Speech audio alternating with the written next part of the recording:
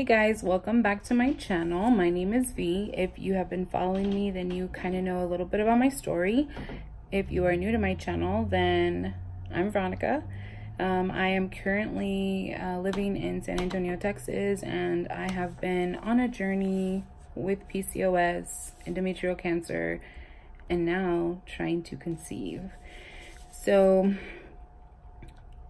again, I became cancer free as of December 21st, and I had already been taking Ovasitol at the time and been doing a lot of extensive research as to what I should be taking to help manage my PCOS naturally because for me that's a big goal is to be more natural rather than taking multiple medications um, from the doctor only because that is what I choose. I'm not saying that it's not right or it is right.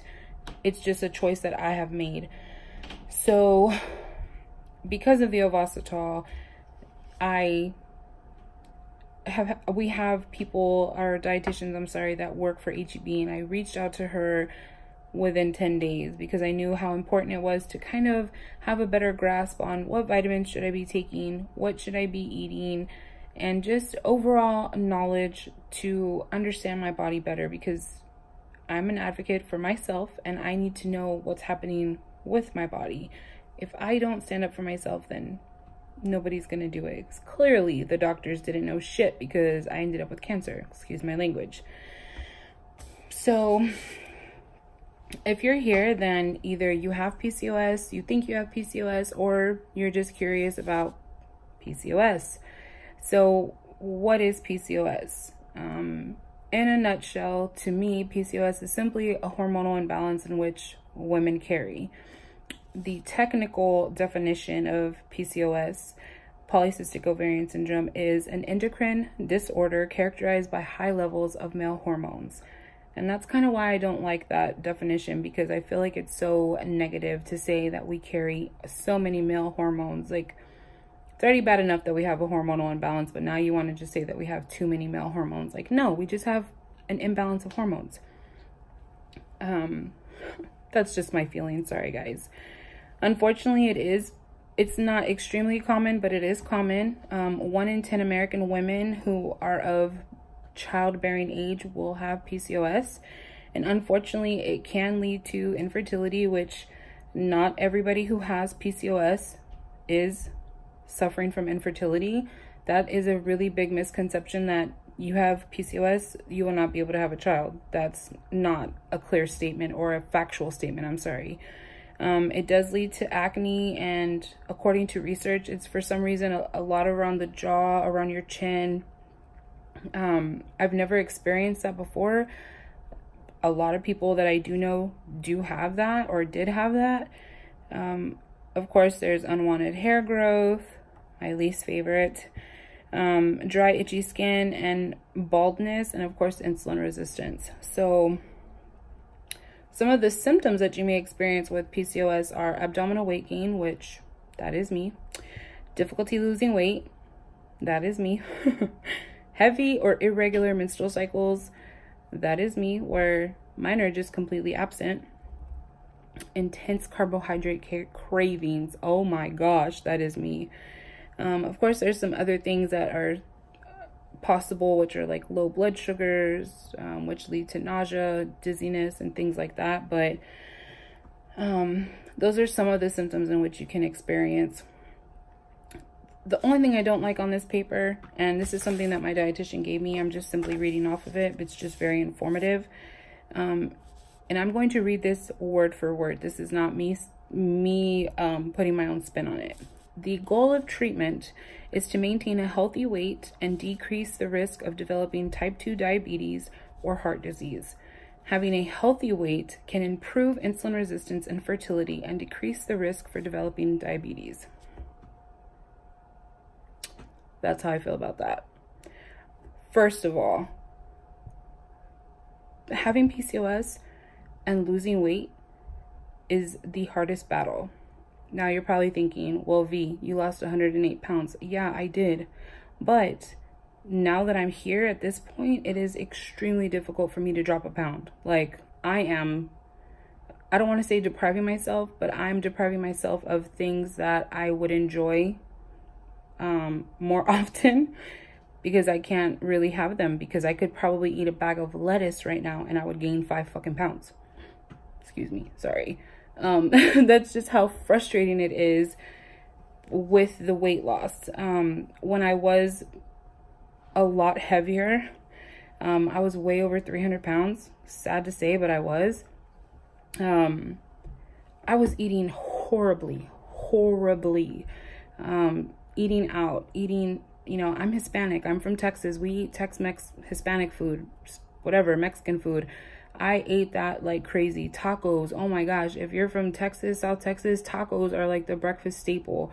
Um, I just had no, um, what's the word I'm looking for? I had no reservations when it came to the food that I was consuming. I ate whatever I want and it reflected upon my body. So going from that to drastically changing my eating habits, the weight melted off. I was going to the gym five days a week, sometimes doing two days. I was, I was addicted. Um, and that's something else that I've been trying to address within myself because I do tend to have, um, I don't even know what the word is because I don't want to say I have tendencies of being addicted to things, but I fixate on things and I noticed changes. I noticed how confident I was feeling. I noticed all these things and I just was so drawn to working out because that is what was giving me those changes. But to say that losing weight will change your PCOS or make your PCOS go away, that is by far from the truth because I did lose 108 pounds and my PCOS, I feel like became worse. It didn't become better. That's when the cancer came about. That's when I definitely did not start a cycle, even though I was told multiple times, lose weight and your cycle will come back. Never happened. Do we need to eat differently from other people? I'm learning, yes. Do we need to watch what we eat? As all people do. We need to be aware that our PCOS causes certain things within us. For example, the intense carbohydrate cravings. I can now reflect upon that and see that that is an actual thing. I could rant on, on and on about this, but I just wanted to give you like an overview of what PCOS is. We've talked about it before, but again, my goal was to maintain my or manage my PCOS in a natural way to help me conceive a child and to help balance my hormones in a better way. So I currently am taking five different supplements and Ovasitol. That is the the vitamins and supplements in which I'm taking. And then I do take two medications for my PCOS, which are, of course, the metformin, and I have thyroid issues now. So I've talked about this before. You know, I love this stuff. If you don't, please check my videos. I don't have many, but Ovasitol was something that I talked about very early. And when I went to my dietitian, excuse me, inositol, which again, I'm not going to go too far in depth with this.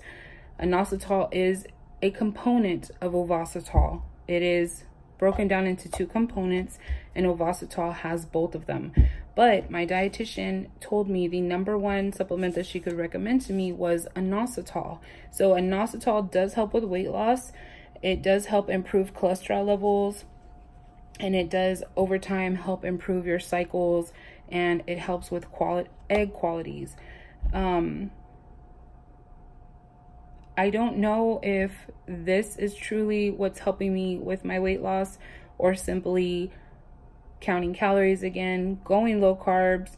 Um, it, it could be a, a factor in it, but I couldn't say 100% that, oh, I haven't changed anything else because that's not the truth. I have been changing my eating habits, I have been working out, and I have been taking Ovasitol definitely look into this product. I'm not sponsored in any way. They are not paying me to talk about this. I'm just a firm believer that this is something that is needed for someone who has PCOS.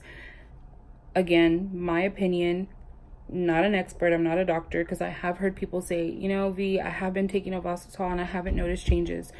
For one, be patient because you can't expect to take this and then tomorrow you get your period if you've had PCOS for many, many years, your body has been out of whack for that long. a supplement is not going to change your PCOS overnight. So please be aware that patience is key. Stick with it. Persistence is key, as corny as it sounds, but definitely give it a try. Give it at least a solid three months. And then if you don't really have a noticeable difference, then stop taking it. Um, so the next one that I'm going to talk about is something called NAC. Now, this is technically called N-acetylcysteine and it's a white pill, sorry, just like this. Um, each pill is 600 milligrams. I do have to take three pills of these a day. So I take one at lunch and then I take two at dinner. Again, I found this at HEB. It was, I think, $15 for the bottle. Um, but it, it's it doesn't really have a horrible taste. It's there. I mean, you know that it's there, but it's nothing that I would say like, oh my gosh, it's horrible. Um, but with that actual supplement, it is said to improve fertility, decrease inflammation, and lower those ugly male extra hormones that we have. So definitely look into that. If you if you don't live in San Antonio or Texas and have an HEB, look on Amazon. I think I found it on Amazon, but I just didn't want to wait for it to be shipped to my house. So I'm kind of impatient like that. So the next one, and I was told about this one through my endocrinologist only because as we all know, a lot of people tend to be vitamin D deficient, but I was told that I was severely deficient in vitamin D. And unfortunately, a lot of people who have PCOS, this is something very common with them. So I do take the vitamin D pills I take the 5,000 units per day um, only because, I, like I said, I was that deficient. And this is the small little pill. It's very, very small. It's like a clear gold. Mm, that's kind of contradicting, but a goldish, yellowish color. Um, my endocrinologist did tell me that if it didn't improve, I would have to start taking the 50,000 units a week. Thankfully, it hasn't got there. But this is said to improve your insulin response, improve BMI, improve cholesterol levels, and also help with regulating your cycles. Um, I'm not, again, it's unfortunate because I have an IUD. I cannot speak on that. I really wish I could. You'd be surprised how bad I want a cycle. Like, I want to see Aunt Flo, like, tomorrow. I know that sounds crazy, but it's just, I don't know. I want to be of knowledge that I'm okay. Even though I know I'm cancer free, it's just something that is in my mind. Anyways, so the next one, of course, from my endocrinologist um, was B12. Again, from HEB. Sorry, guys. I shop at HEB all the time. That's my style. I actually work for HEB, so just kind of drawn to them. But this is a pill. It's like a pink. It almost looks like um, a sweet tart, kind of. but this one is the 1,000 micro micrograms maybe it says mcg couldn't really tell you guys um i don't know if that's gonna focus probably not but yeah so this one i don't really have like informative information as to what it helps does what it helps to do but it definitely has i've seen a big change in my energy levels um i've noticed a lot of hair growth in a good way like not in random places but um, my hair tends to be really thin and I've noticed a lot of like extra hair growth up here, like little baby hairs um, down here on the bottom as well. So it might be doing something good. I want to believe that it's doing something good. um, my skin has definitely cleared up a lot with these vitamins and not that I ever really had acne, but it just seems more even if you will. Now, granted, I have a lot of makeup on right now, but um, it, it just looks better, guys. so another one, this is by far not my favorite. Not that I have a favorite in these, but fish oil. Now, this was recommended by my dietitian. Um, unfortunately, I don't, I was looking for the information as to like what this specifically helps with. Um, I know it does help with your cycles, to regulate your cycles, to help ovulation, and if I'm not mistaken, I hope I'm not giving you the wrong information. Um, and definitely it helps with your, um, a lot of them, actually, if I'm not mistaken, all of them helped with um, patients' BMI, like lowering it.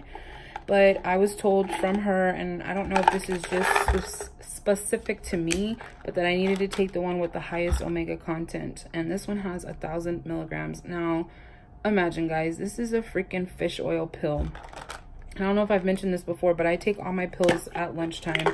And this is by far the grossest pill ever. It never fails.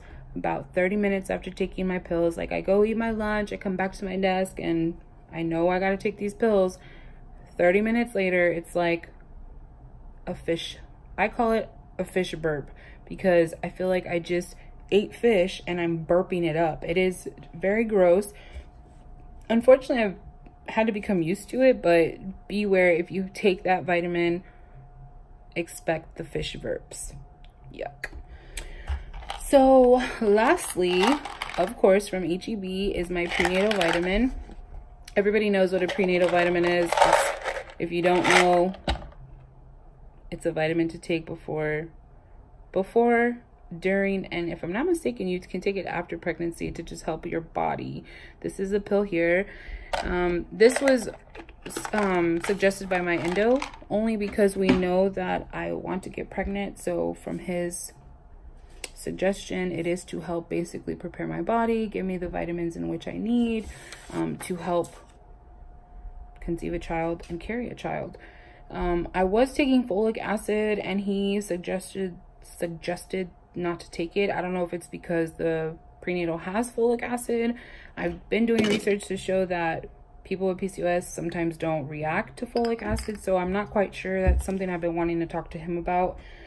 But as I mentioned, I do take my pills at lunchtime and I, guys, I, imagine me carrying all of those pills in my purse. First of all, I used to carry just like a little clutch type of deal. And when I started taking all my vitamins, I needed like a grandma purse. No lie. I still carry my grandma purse around, but I found these cute little spice jars at Walmart and they're by Pioneer Woman. I love Pioneer Woman. I'm obsessed. But these are like her spice jars, if I'm not mistaken. And I picked up two of them and this is just what I carry every vitamin in. So instead of having to carry all of those bottles, I just, I don't know if you can see that. I just put all of them in here on Sunday night. I refill them up. Um, I already know that I have five each day, so I fill them up. I get five pills of each for the bottle. Sometimes I'll put more if I think I'm going to be traveling that weekend just to have them on hand. But I found that this is a lot more convenient and yes, it does rattle, but it's not as annoying as having all of those bottles in my purse and trying to look for my cell phone or my wallet. It's just a lot more convenient. And as you see, I did do the same thing with my Ovasitol only because this thing is so big, guys. Like, it's, I mean, it's not the worst thing in the world, but just to have to lug this around twice, a, or your whole day so that you can have it twice a day, it's just too much. Like, I'm not about to do that. So, I got my little spice jar and this is you can't really see. I need to actually put some more in here but it's just really convenient guys. Like i have it in my purse. I know that it's there. If i'm at work if i'm not in the office if i'm traveling if i'm out on the weekend with friends or whatever the case may be like i always have it with me. I don't have to question hey did i bring it? Did i not? Whatever the case may be so that's just been working for me. Maybe you rather carry a pill case. It was difficult for me to have a pill case because I do have so many. I couldn't find a pill case that was big enough that didn't look like a suitcase. So you choose your own battles. You do what you like. This is just what I do. But again, um, please don't get this information, you know, misconstrued like, oh, Veronica said I must take these vitamins. That is not the truth. So don't come at me like that. This is just what I take to help my body because I've done research to show that this is something that I should be doing. And I know um, a few of you had told me that you have never heard of Ovasitol or Inositol and your doctors have actually recommended you not to take it.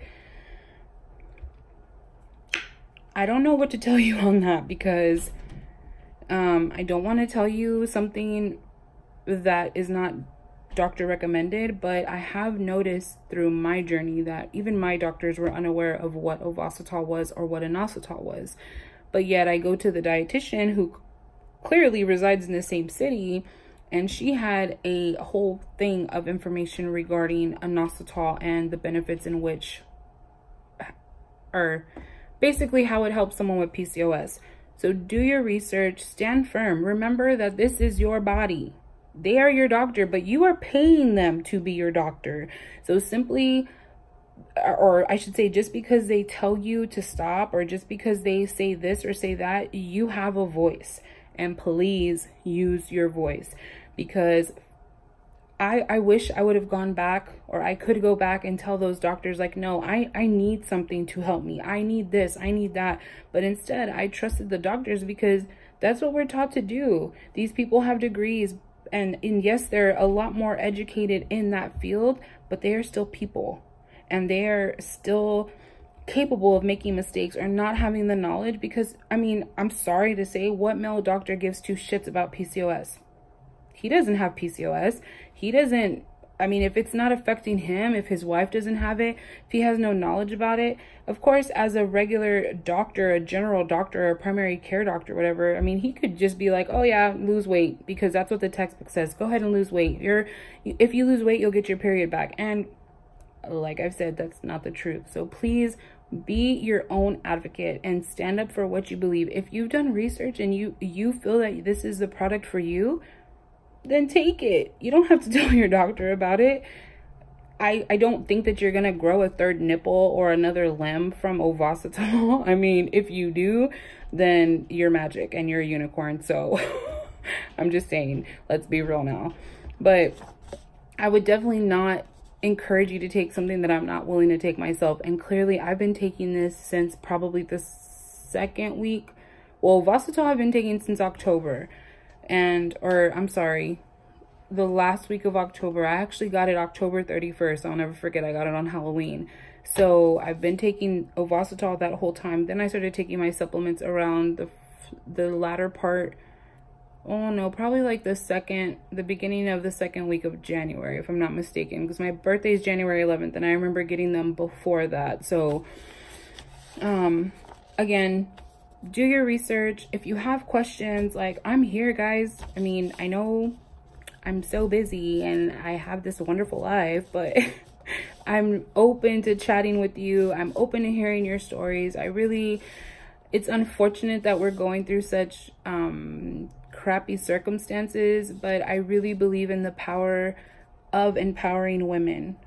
And we need to empower each other no matter where we are if you're across the United States, if you're not even in the United States, like if I've been through something and my knowledge or experience can benefit you, then that is my purpose. And not to get all kumbaya or godly, but I believe that God has given all of us a purpose. And if my purpose is to help you through your journey, then that will make me the happiest person because I don't want people or women to go through what I went through for the sake of just who wants to go through cancer. Because believe me i wish i would have recorded my journey through cancer because it was